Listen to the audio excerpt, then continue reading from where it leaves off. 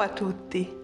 E per voi oggi mi piacerebbe aggiungere un bonus, qualcosa in più, proprio per allenarsi a disegnare parti del mandala o del mandala. In questo caso un mandala un po' più geometrico. Solo che come vedete, questo per esempio è un, un, proprio un esempio di quello che faremo, comunque prediligo disegnare parti del mio mandala a mano libera senza utilizzare sempre compassi e stecca per il motivo che così riesco a entrare più profondamente dentro di me e dentro il rilassamento del disegno. Perché se ogni volta devo prendere proprio il mio compasso fare sempre i cerchi, fare e iniziare a contare, misurare, pensare sempre alle dimensioni e alla perfezione. Questo sì farà ovviamente sì che il mio mandala alla fine sarà un po' più perfetto al livello estetico, però non mi permetterà di rilassarmi dentro, quindi di godermi il viaggio del disegno del mio mandala. Quindi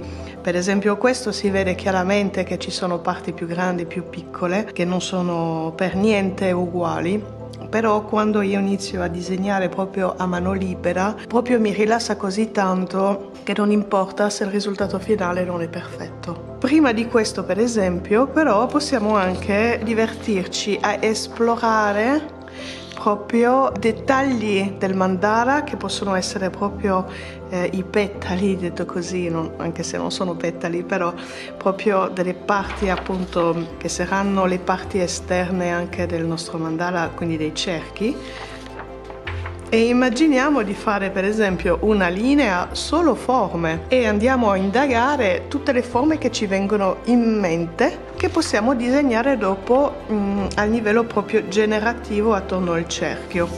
Quindi per esempio qua ho preparato, ho preparato come a scuola una, una carta in cui ci sono già magari delle paralleli fatti proprio a matite e prendendo proprio un pennarello andrò a disegnare le forme che mi vengono in mente. Per esempio, questo, ho fatto questa forma, quindi adesso posso prendere spunto dell'idea di questa forma e andare a disegnarlo tutto attorno il mio mandala. E diventa proprio una forma generativa. Posso pensare a un'altra forma, per esempio questa è una forma che faccio tantissimo.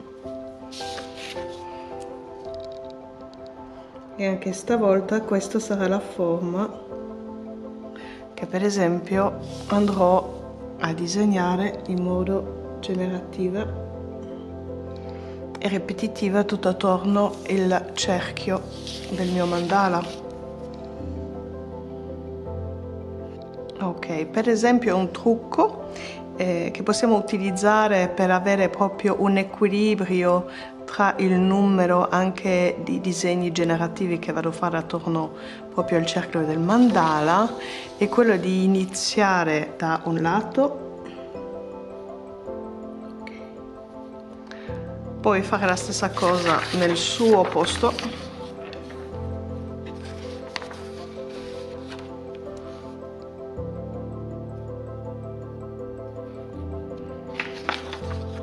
Poi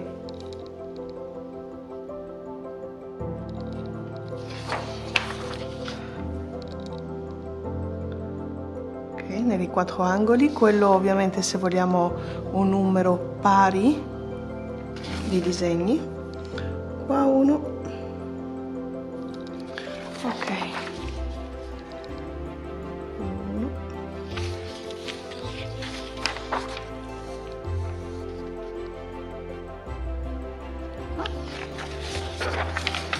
Giro perché mi è più facile disegnarlo abbiamo visto che un po' l'intercalare diventa omogeneo. Poi se vogliamo aggiungere appunto un disegno tra di loro lo facciamo e diventa veramente molto equilibrato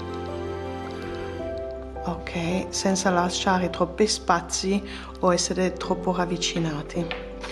Quindi andiamo avanti così, immaginando tutte le forme che possono avere questi elementi generativi e ripetitivi del nostro mandala.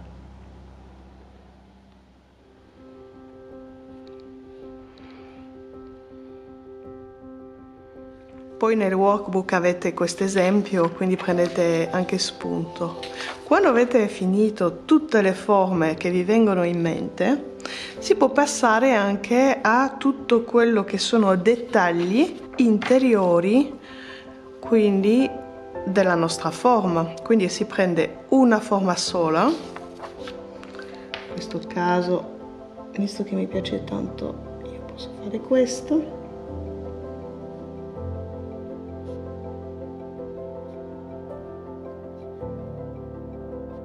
Prende sempre la stessa forma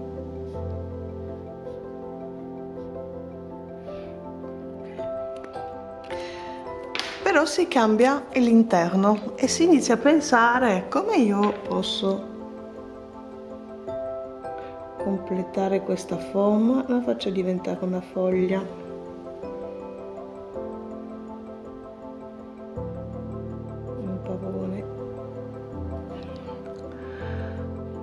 Può essere davvero un esercizio divertente anche per aiutare la creatività e proprio scoprire in che modo possiamo creare mandala diversi.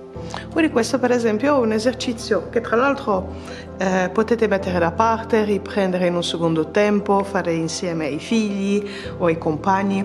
Quindi è un esercizio anche divertente che non è impegnativo ma che dà veramente tante soddisfazioni per quanto riguarda la ricerca proprio di elementi del mandala. E poi ovviamente le potete, dopodiché, come abbiamo visto prima, provare su un foglio come questi e pensare appunto mi piace molto questo ok allora faccio una prova visto che mi piace molto poi ovviamente dopo potete colorarlo.